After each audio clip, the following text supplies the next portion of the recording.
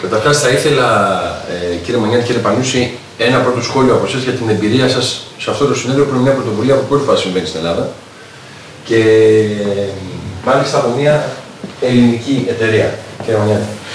Ε, για μένα ήταν μια πολύ ευχάριστη θετική έκπληξη το γεγονός ότι εδώ στους Δελφούς, σε ένα υπέροχο τοπίο, στο Δελφικό τοπίο, έχουν συγκεντρωθεί ε, άνθρωποι ε, και από την Ελλάδα και από την Ευρώπη που εκφράζουν και την οικονομία και την πολιτική και τον πολιτισμό. Ε, θεωρώ ότι είναι μια πάρα πολύ όμορφη πρωτοβουλία. Δεν ξέρω σε ποιο βαθμό θα μπορούσε κανείς να κάνει κάτι καλύτερο.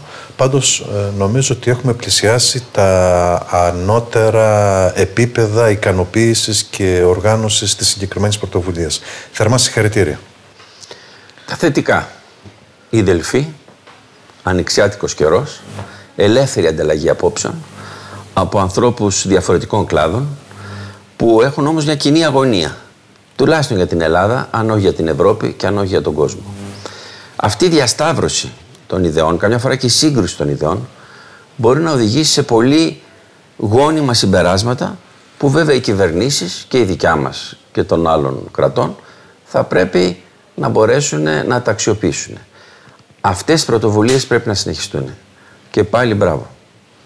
Ωραία. Ε, επειδή και οι δύο έχετε περάσει από χαρτοφυλάκια κυβερνητικά, σε διαφορετικούς τομείς ο καθένας. Έχετε λοιπόν την εμπειρία και μάλιστα στην κρίσιμη αυτή, μέσα σε αυτήν την εξαετία των μνημονίων και της κρίσης χρέους και όλου, όλου του κλίματος στην Ελλάδα. Θα ήθελα να ανταλλάξετε τις απόψεις σας σχετικά με το πώς βλέπετε την επόμενη μέρα στην Ελλάδα.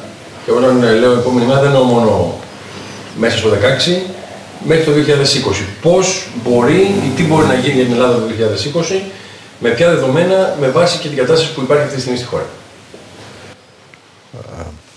Όλοι καταλαβαίνουμε ότι η χώρα βρίσκεται σε μια απίστευτη ε, ε, γεωπολιτική εντροπία, όπου δεν υπάρχει καμία σταθερά. Το ευρύτερο ε, γεωπολιτικό περιβάλλον κλειδονίζεται από την Ουκρανία μέχρι τώρα πια τα τελευταία δύο χρόνια την Συρία και το Ιράκ και όχι μόνο. Κατά συνέπεια είμαστε σε μια ε, χρονική συγκυρία όπου τα πάντα μπορούν να συμβούν. Λυπάμαι να πω, ο χειρισμός του τελευταίου έτους εκ μέρους της κυβέρνησης ΣΥΡΙΖΑ και ΑΝΕΛ ήταν τραγικός, συνεχίζει δυστυχώς να είναι απολύτως ανεύθυνος.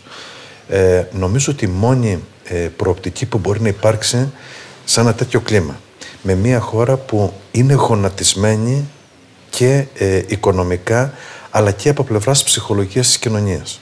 Και με μια Ευρώπη που κατακαιρματίζεται δυστυχώς εις τα εξών συνετέθη με το βασικό ο, ο, μέλημά της, τη βασική αξία της που είναι η κοινοτική αλληλεγγύη να έχει την πραγματικότητα εξαφανιστεί, μέσα σε ένα τέτοιο κλίμα η Ελλάδα έχει μόνο ένα δρόμο να ακολουθήσει. Το δρόμο της ενότητας των δυνάμεων του ελληνισμού απανταχού της γης.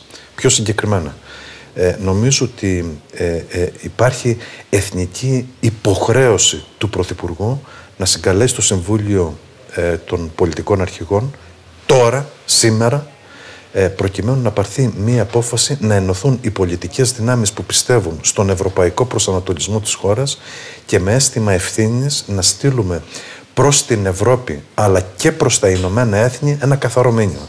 Το μήνυμα αυτό πρέπει να είναι ότι έχουν χρέος να στηρίξουν την πατρίδα μας και οι Ευρωπαίοι εταίροι αλλά και ε, οι μεγάλες δυνάμεις μέσω του Συμβουλίου Ασφαλείας των Ηνωμένων Εθνών διότι είμαστε η χώρα υποδοχής δεκάδων χιλιάδων μεταναστών και προσφύγων κάθε μέρα. Τώρα, πού μπορεί να πάει η Ελλάδα; Ε, ε, προσωπικά πιστεύω πολύ βαθιά ότι υπό ορισμένες προϋποθέσεις μέσα σε ένα χρόνο η Ελλάδα μπορεί να ξανασηκωθεί όρθια και περήφανη. Οι δυνάμεις της πατρίδας, αυτό που εγώ ονομάζω ο προοδευτικός πατριωτισμός, εάν δει μία προοπτική ε, συνεννόησης και συνένεσης στα βασικά και τα προφανή, οι δυνάμεις της χώρας, το ανθρώπινο δυναμικό της, αλλά ε, και αυτό που συνιστά τον φυσικό της πλούτο από τον τουρισμό και τις, ε, ε τον τις ορυκτές πρώτες ύλες, τους αγωγούς ε, που είχα την τιμή να χειριστώ ε, προσωπικά φυσικού αερίου. Όλα αυτά τα μεγέθη μπορούν να μας δώσουν τη δυνατότητα να καταστήσουμε την πατρίδα μας έναν κόμβο μεταφορικό, ενεργειακό, τουριστικό, έναν, ε, μία, ένα ανοιχτό παράθυρο σε μία ευρύτερα ταραγμένη περιοχή που εδώ θα συνεχίσουμε να είμαστε μια όαση σταθερότητας, κοινωνικής ισορροπίας και χαμόγελου και πάλι. Αυτές είναι πια οι ιστορικές ευθύνες της σημερινής κυβέρνησης ε, του κυρίου Τσίπρα, η, η, η ιστορική τους υποχρέωση μπροστά σε αυτό που βλέπουμε να έρχεται, που είναι μια πιθανή εθνική τραγωδία την οποία πρέπει να αποφύγουμε πάση θυσία, ε, έχουν χρέος να ενωθούν οι δυνάμεις του έθνους και της πατρίδας προκειμένου να ξεπεράσουμε αυτή την κρίση.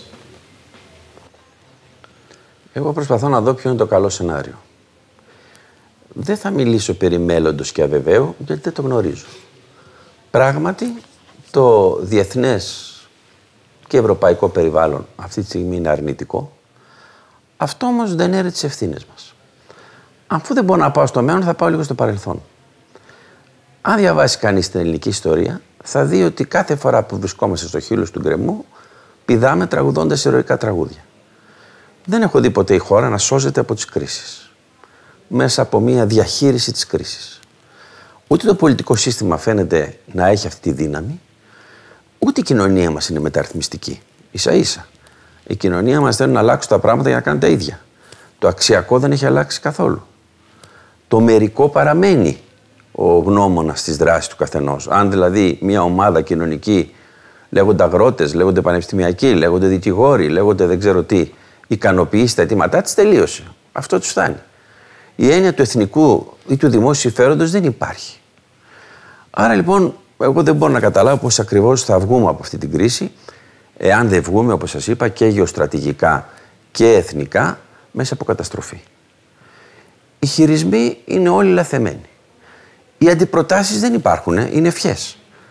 Δηλαδή, κάνουμε την ευχή μας πραγματικότητα. Εάν συμβεί, εφόσον συμβεί, και αν συμβεί και είναι και θετικά, θα δούμε. Εγώ δυστυχώς δεν θα δω ε, την άσπρη μέρα, δεν τη βλέπω από πού έρχεται. Διότι όταν κάνεις πολιτική, δεν μπορεί να την κάνεις εν θρησκείας. Δηλαδή να πεις κάπου κάποιοι κάποτε θα σώσουν τον κόσμο.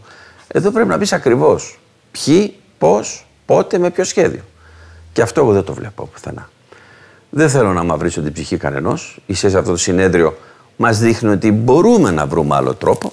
Δεν νομίζω ότι θέλουμε να βρούμε άλλο τρόπο. Κάθε φορά πολιτικά τρικ είναι αυτά που παίζονται ή κομματικές αισιοδοξίες.